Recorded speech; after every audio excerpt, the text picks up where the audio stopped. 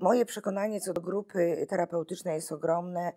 Y, w moim mniemaniu jest to najlepsze narzędzie, y, jeśli chodzi o leczenie osób uzależnionych. Bez grupy nie wyobrażam sobie pracy z pacjentami. Y, praca w gabinecie, w moim poczuciu, w moim doświadczeniu, nigdy nie przynosi takich efektów, jakie przynosi praca na grupie. Dlaczego tak to chwalę, dlaczego tak o tym mówię? Ponieważ pierwsza rzecz, jaką daje grupa terapeutyczna, to jest identyfikacja. Pacjent ma możliwość szybko zidentyfikować się z problemem, z którym przyszedł do terapii. Mówimy konkretnie o osobach uzależnionych, czyli identyfikacja z uzależnieniem. Tylko w grupie, słysząc wypowiedzi innych ludzi, którzy też tam są, można tą identyfikację szybko schwycić, szybko zobaczyć, aha, to u mnie jest tak samo jak u tego człowieka, czyli być może faktycznie moja choroba już jest, może ja jeszcze jej nie widziałem, czy nie widziałam, ale ona już jest. Druga rzecz to jest y, bardzo ważna w grupie, to jest taka szansa na akceptację choroby, bo to, że człowiek wie, że jest chory, to jeszcze nie jest sukces. Sukces jest wtedy, i wtedy mówimy o sukcesie, jeżeli pacjent rozpoznał chorobę i zidentyfikował się z chorobą, a jednocześnie zaakceptował, bo jeżeli zaakceptował tą chorobę, pogodził się z tym, że no tak, jestem chory, wobec tego niesie to za sobą pewnego rodzaju zmiany w moim życiu. Jeżeli nie zaakceptuje, to nie będzie wprowadzał zmian i właściwie no, szkoda czasu, jaki spędził na terapii, szkoda y, y, czasu ludzi, którzy dla niego tą terapię robili. I w gabinetowej terapii bardzo często gdzieś trudno o, o i identyfikację i akceptację. Ja nie chcę tu krytykować, broń Boże, kolegów, którzy pracują indywidualnie, natomiast mówię o swoich doświadczeniach. Ja uważam, że grupa jest najbardziej lecząca. Następna rzecz, która jest y, też y, bardzo ważna i dzięki grupie terapeutycznej pacjent ma y, możliwość zdobywania wiedzy, edukacja. Edukacja na temat choroby, na temat różnego rodzaju zachowań, i to jest szalenie ważne, bo y, taka edukacja od innych ludzi, taka wiedza od innych ludzi, ona ma też inną wartość. To jest taka wartość od żywego człowieka, nie z książki, nie z gazety. Inaczej to się zapamiętuje, inaczej to się przeżywa. Grupa terapeutyczna to też przez to, że ludzie współpracują ze sobą, widzą się, oglądają, słuchają i dają sobie zwroty, potem powiem o tych zwrotach, to wtedy jest możliwość samopoznania siebie. Bo my siebie widzimy w lusterku, my siebie tam słyszymy w jakiś sposób, ale tak naprawdę wydaje nam się, że siebie znamy, a w gruncie rzeczy no, widzimy tylko trochę siebie. Resztę nas widzą inni ludzie, no i grupa jest szansą, żeby nam o tym powiedzieli, żeby nam na pewne rzeczy zwrócili uwagę e, i dzięki temu, jak się poznajemy sami, to jest nam potem łatwiej E, w takim normalnym, codziennym życiu, e, w relacjach. Także samopoznanie jest też bardzo ważnym elementem, który daje grupa terapeutyczna e, osobie, która w tej grupie jest. Następny bardzo, bardzo taki ważny też, też ważna korzyść z bycia na grupie terapeutycznej to jest poprawa bądź nauka komunikacji. E, nasi pacjenci, mówiąc nasi, mam na myśli osoby uzależnione, są to często osoby, które mają problem e, z wysławianiem się, z nawiązywaniem kontaktów, z nagłaśnianiem swoich myśli. Często mają jakieś opaory, często się wstydzą albo przeżywają jakąś niepewność, boją się oceny. A na grupie terapeutycznej zaczynają się uczyć, że mogą się wypowiadać, że to jest bezpieczne, że nic złego się nie stanie, jeżeli ujawnią swoje myśli, jeżeli te myśli nagłośnią. E, I to poprawia im komunikację, to otwiera ich na relacje, na, na rozmowy z innymi ludźmi, na to, żeby w ogóle mówić coś od siebie. To jest też bardzo, bardzo ważny czynnik. Ja muszę powiedzieć, że mam takie doświadczenie z pacjentami, którzy już no, długi okres są w zdrowieniu i jak y, są po, y, uczestniczą w grupach terapeutycznych, a potem uczestniczą w meetingach AOSKich, to ja jestem w stanie rozpoznać, że te osoby od iluś lat już to robią bo zupełnie innego języka używają, mają łatwość wypowiedzi.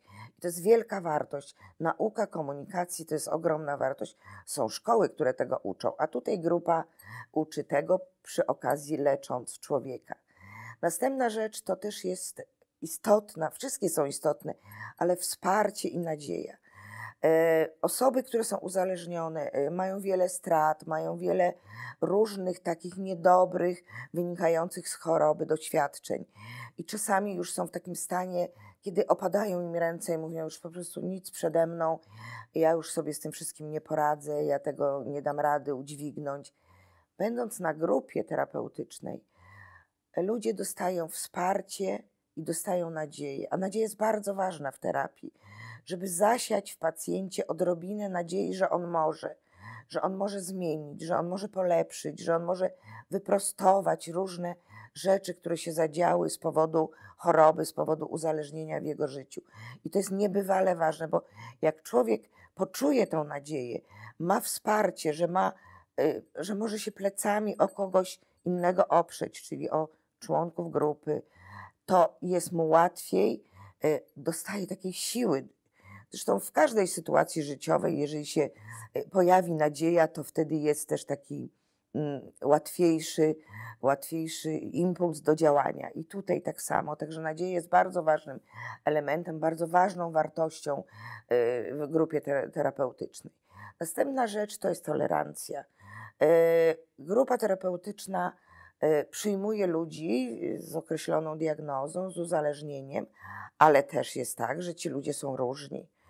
E, mogą być osoby, które y, mają jakieś deficyty, na przykład, że y, coś jest y, z ich ciałem nie tak, może mają jakieś uszkodzenia, po, nie wiem, czy po wypadkach, czy po czymś i nieładnie wyglądają i, i, i, i to jest coś takiego, co niektórych odpycha. Są osoby, które się na przykład jąkają, prawda, albo są osoby o jakiejś no, takiej fizjonomii trudnej do akceptacji. Grupa terapeutyczna akceptuje wszystkich. Akceptuje wszystkich i uczy tolerancji, bo się okazuje, że ten człowiek, który się jąka, ma dużo mądrych rzeczy do powiedzenia. I to się zaszczepia w głowie już taka informacja, że jąkanie nie ma być czymś, co odrzuca człowieka i nie pozwala mu się wypowiadać, bo to jest irytujące dla innych. Człowiek, który ma jakieś, powiedzmy sobie, fizyczne wady, może być niebywale życzliwy, mądry i serdeczny i w ogóle przestajemy te wady widzieć. Ale trzeba mieć okazję, żeby takie rzeczy jak, jak yy, różnego rodzaju zmiany zauważyć i nauczyć się je tolerować, i taką okazją jest grupa terapeutyczna. Taką okazją jest grupa terapeutyczna, że tam się uczymy tolerancji. Uczymy się tolerancji też e, dla tego, czy ktoś jest osobą wierzącą, czy niewierzącą. To jakby ma nie mieć żadnego znaczenia. Znaczenie ma człowiek i to, co on ma w środku, co może nam powiedzieć, czego możemy od niego, e, co od niego możemy usłyszeć. I a propos słyszeć, grupa terapeutyczna też uczy ludzi słuchania uczy ludzi słuchania, e, takiej cierpliwości w tym słuchaniu, ponieważ jest taka zasada na grupie terapeutycznej, jeszcze się do tego odniosę, że nie należy przerywać wypowiedzi innych. I czasami my widzimy, jak na grupie pacjenci e, nogami przebierają, bo ktoś mówi i mówi i mówi, ale nie wolno mu przerwać, bo on, on ma swój czas i on ma prawo powiedzieć. Ale to ćwiczy inne osoby w słuchaniu i takie ćwiczenia w słuchaniu, ponieważ osoby uzależnione mają wielki problem ze słuchaniem. Jak się mówi do człowieka, który jest czynnie uzależniony, powiedzmy do alkoholika, który akurat jest trzeźwy, coś dla niego istotnego, to on jeszcze do końca nie dosłuchał, a już nam odpowiada, a już ma swoje zdania. Dlatego nauka tego słuchania jest niebywale ważna i bardzo jest wielką korzyścią dla osób, które są na grupie terapeutycznej.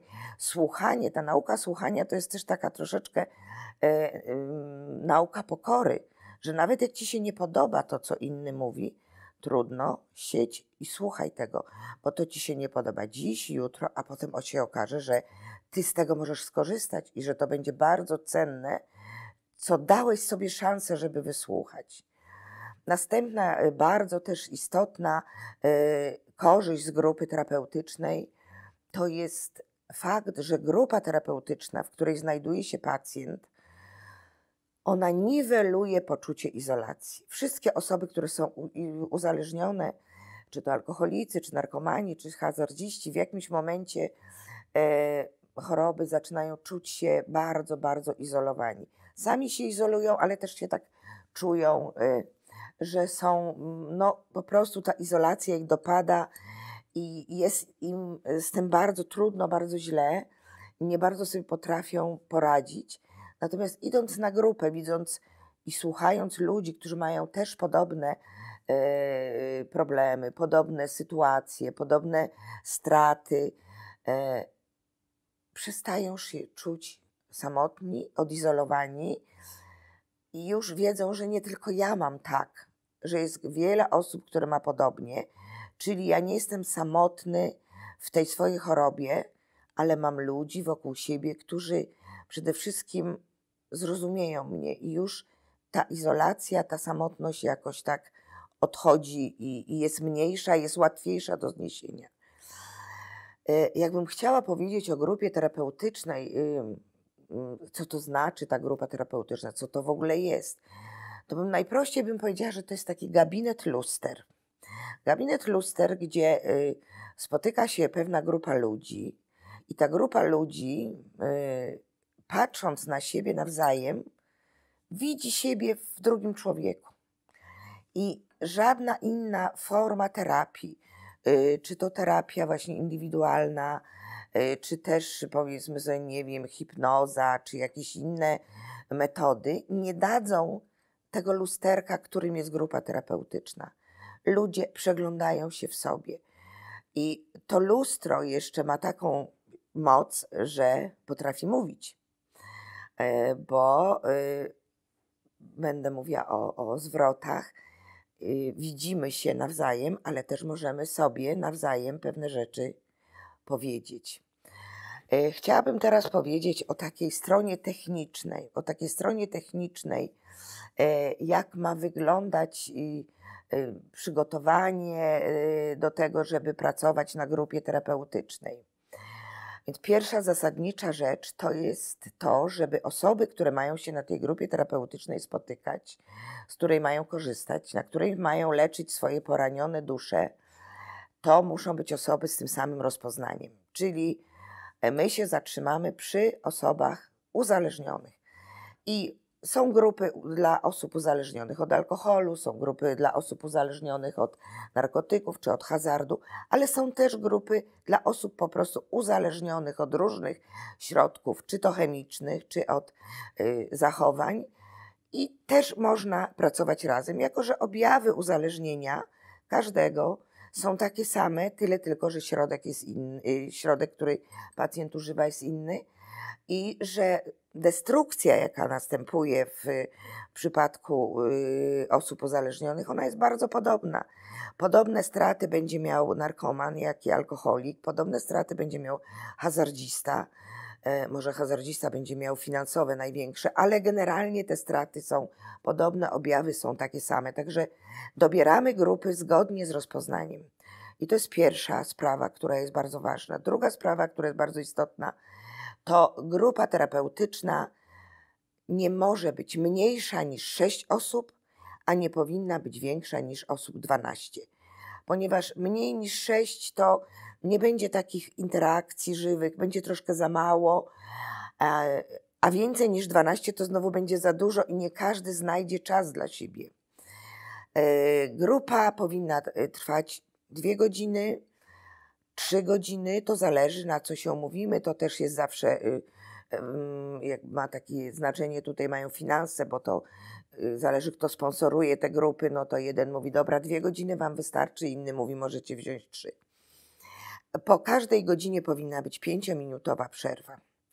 Bardzo ważne jest, żeby grupa odbywała się e, w sali, która jest wywietrzona i bardzo, bardzo ważny jest kawałek, może się wydaje banalny, Y, krzeseł na grupie, krzeseł czy foteli. Wszyscy uczestnicy grupy muszą siedzieć na, tych, na takich samych krzesełkach bądź fotelach. Nie może być tak, że jedna osoba siedzi w fotelu, druga siedzi na taborecie, trzecia na jakimś krześle. Wszyscy siedzą na takich samych siedziskach. Y, ma to znaczenie, bo y, inaczej się czuje człowiek w fotelu, a inaczej na taborecie. I dlatego mówię o tym, bo zdarzało mi się widzieć takie sytuacje, gdzie ludzie siedzieli na różnych siedzeniach, gdzie na przykład terapeuta siedział na jakimś wygodnym fotelu, a pacjenci na krzesełkach. Tak nie może być. Wszyscy, absolutna demokracja, wszyscy siedzą na takich samych siedziskach.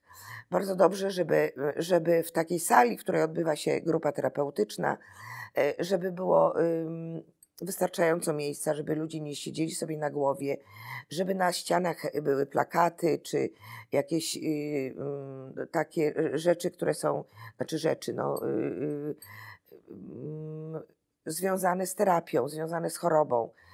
E, I bardzo też jest dobrze, jeżeli, jeżeli w sali terapeutycznej są kwiaty doniczkowe, ale tylko wtedy jest dobrze z tymi kwiatami, jeżeli one będą zadbane, bo jeżeli mają stać jakieś badyle, nie, o które nikt nie dba, to, to lepiej nie. E, następna bardzo ważna rzecz, jeśli chodzi o grupę terapeutyczną i taką techniczną sprawę, to jest kontrakt terapeutyczny. Dopóki pacjent nie podpisze kontraktu z terapeutą, to nie ma jakby prawa wejść na grupę. Musi być podpisany kontrakt. Ten kontrakt ma być y, y, dotyczyć współpracy, czyli ma mówić, ile czasu, na ile czasu pacjent umawia się z, terapeutą na grupę, e, jakie są warunki, że utrzymuje abstynencję, e, że jest punktualny, że jeżeli nie będzie y, mógł przyjść, to zawiadomi. Takie proste rzeczy, ale bardzo istotne. I pacjent tą, podpisuje ten kontrakt, i terapeuta podpisuje ten kontrakt. I dopiero jak kontrakt jest podpisany, pacjent może być zaproszony i wejść na grupę. Jeszcze ważna bardzo rzecz, jeśli chodzi o taką techniczną sprawę, to żeby ta grupa odbywała się w stałym miejscu. Y, żeby to była ta sama sala terapeutyczna, żeby to była stara, stała pora, stały dzień, stała godzina, żeby tego tym nie kręcić. To ma być, powiedzmy sobie, że grupa, y, pacjent podpisuje kontrakt na dwa lata i on w każdy wtorek od godziny 18 do 20 ma być w takim i takim miejscu o takiej i takiej godzinie i zaczyna o 18, kończy o 20, nie inaczej, żeby była taka jasność i stałe miejsce. E, u osób uzależnionych to jest tak, że te, to życie jest takie rozbujane, e, nieprzewidywalne. Więc jak pacjent zaczyna pracę na grupie terapeutycznej, tam wszystko musi być przewidywalne. Właściwie ten miejsce, to ten czas, to, to wszystko. Proszę mi przerzucić kartkę. Proszę zdjąć bransoletkę przynajmniej jedną, żeby ona się... Bo dzwoni. Oj, tak. przepraszam, trzeba było wcześniej mi powiedzieć. To nie duży problem.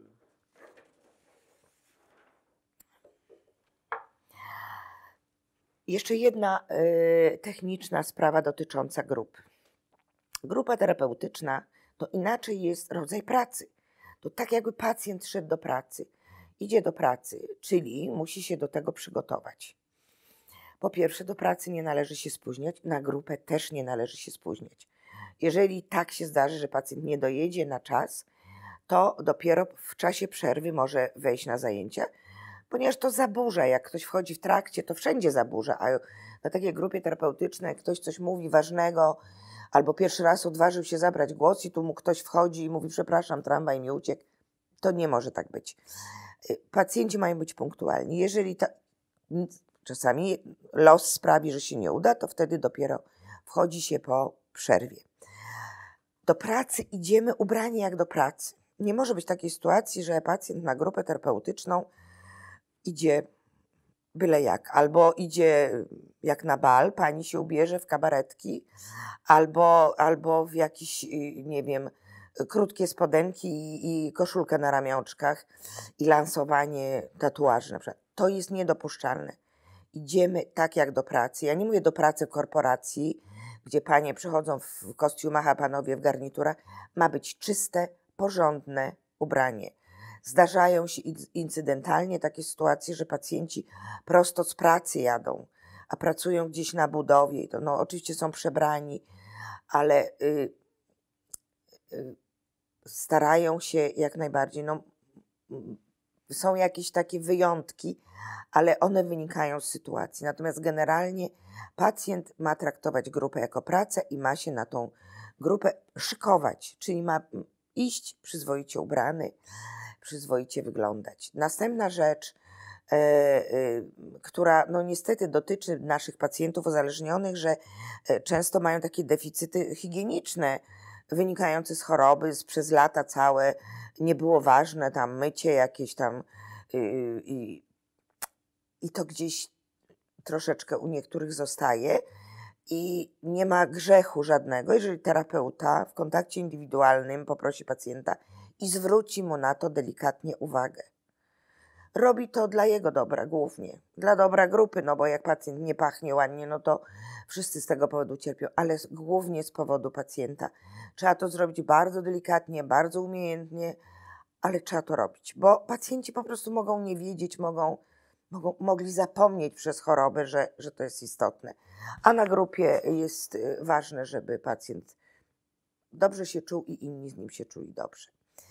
Jeżeli jest taka sytuacja, że pacjent z jakiegoś powodu nie może przyjść na zajęcia, bo tylko życie, no czasami tak się zdarza, rozchoruje się dziecko, trzeba zostać dzieckiem, albo sam jest chory. Oczywiście to jest dopuszczalne, bo jest to tylko życie, natomiast pacjent powinien zawiadomić. Zawiadomić niekoniecznie terapeutę, może zawiadomić kogoś y, z grupy, kolegę lub koleżankę, że dzisiaj nie przychodzę, bo jakaś sytuacja ma miejsce. Jeżeli nieobecności przedłużają się i pacjent sygnalizuje, że jest chory i to nie jest incydentalne, że raz nie przyszedł czy dwa razy na grupę, to wtedy prosimy o zwolnienie lekarskie. Jest jeszcze jedna istotna rzecz, taka, e, e, o której myślę, że należy wspomnieć. Niektórzy z naszych pacjentów, oprócz uzależnienia, mają różnego rodzaju inne choroby, i ja nie mówię o chorobach takich somatycznych stricte, ale mają też choroby, e, które muszą leczyć u lekarza psychiatry. I jeżeli pacjent dostaje leki od lekarza psychiatry, to my z tym nie dyskutujemy, on przychodzi na grupę. Dlaczego o tym wspominam? Bo w kontrakcie na ogół mówimy, że pacjent zachowuje abstynencję, prawda? No, abstynencję od środków zmieniających nastrój. Leki psychiatryczne na ogół są to leki, które jednak coś z tym nastrojem robią. Ale jeżeli te leki decyduje o nich lekarz psychiatra, to my nie podważamy jego decyzji i pacjent jak najbardziej w grupie udział może wziąć. Teraz bym przeszła może do y, bardzo istotnej rzeczy, mianowicie do zwrotów, do informacji zwrotnych. Na grupie terapeutycznej, to jest bardzo taki ważny element y, pracy z grupą terapeutyczną, to jest informacja zwrotna.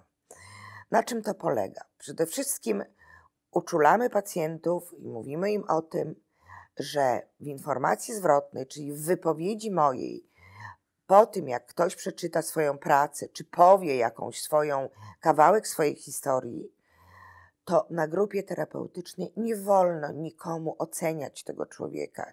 Nie wolno oceniać tego, co on nam powiedział. Nie wolno absolutnie krytykować. Można tylko mówić o tym, co nam to zrobiło, co czuliśmy, z czym się porównujemy, mówić szczerze, prawdziwie, ale nie krytykować, nie oceniać.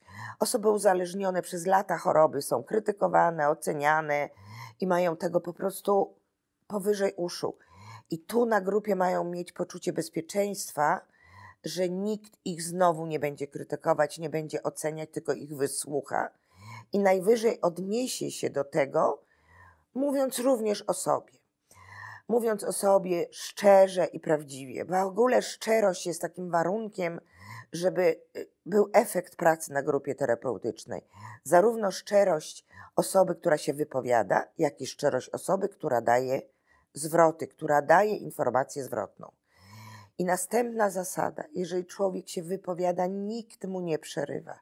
Nie przerywamy. Nie przerywamy, ponieważ y, on ma prawo do tego, żeby powiedzieć to, co czuje, to, co. On przyszedł po to, żeby się leczyć. On przyszedł po to, żeby jego uczucia się zaczęły ujawniać. Więc nie przerywajmy mu, nie przerywajmy nikomu.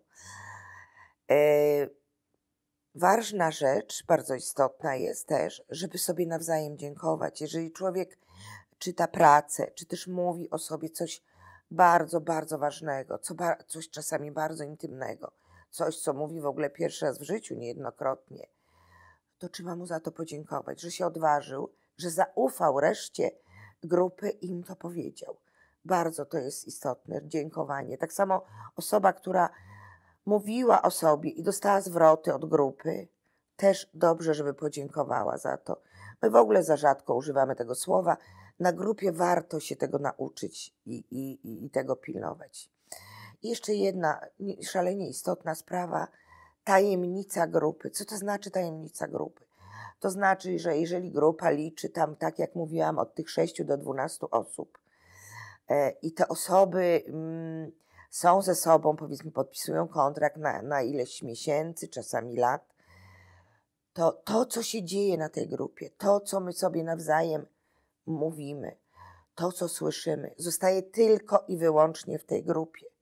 Nie wolno opowiadać gdzieś tam, można mówić o czymś, ale nie mówiąc, gdzie to słyszałam, kto to mówił, broń Boże nazwiska. Nie wolno opowiadać tego, co słyszymy na grupie. Dlaczego to jest takie ważne? Bo grupa potrzebuje mieć poczucie bezpieczeństwa, że jeżeli ja coś mówię, to ja mogę bezpiecznie się czuć, że to nigdzie nie wyjdzie, że nikt z tego nie zrobi użytku, że nikt z tego nie skorzysta w sensie takim, że mnie się coś stanie. Tajemnica grupy jest podstawą w ogóle pracy na grupie. I jeżeli tak się zdarzy, w kontrakcie musi być zawarty punkt o tajemnicy grupy. Jeżeli tak się zdarzy, że ktoś wygada gdzieś na zewnątrz tajemnicę grupy, puści, powie jakoś, to jest to absolutnie powód do tego, żeby taką osobę z grupy natychmiast usunąć, rozstać się z nią, ponieważ, tak jak mówię, bezpieczeństwo grupy jest wartością absolutnie konieczną. E, jeszcze y, powiem o takiej jednej technicznej rzeczy, bo ona mi umknęła, jak mówiłam wcześniej, żeby zachęcać pacjentów do tego, żeby y, jak przychodzą na grupę, nie siadali stale w tym samym miejscu. Bo siedzenie w tym samym miejscu bardzo zawęża to, co my widzimy. Trzeba się zmieniać i terapeuta powinien o tym przypominać, że jak dzisiaj ktoś siedzi tutaj, to jutro posadźmy go na krześle, on niech się posadzi naprzeciwko. Po to, żeby widzieć tą grupę z różnych stron i w każdej, y, y, że tak powiem, konfiguracji. To jest bardzo ważne, bo takie zasiedzenie, takie zaskorupienie, ono nie służy człowiekowi, który tak się umoci, umościł w jednym fotelu i on już się gdzie indziej nie chce ruszyć. Taki jakby jest, to go usztywnia. Jakie mamy grupy, z jakimi grupy, z grupami pracujemy mm, i z jakimi ja pracuję? To są grupy o podstawowym programie, prawda? Tam, gdzie jest głównie edukacja, identyfikacja yy, i gdzie pacjent nabywa wiedzę o chorobie, o sobie trochę i gdzie, gdzie jakby to jest taka, taki początek drogi, ta grupa podstawowa. I stamtąd wychodzi i jeżeli chce, to od niego zależy, idzie dalej.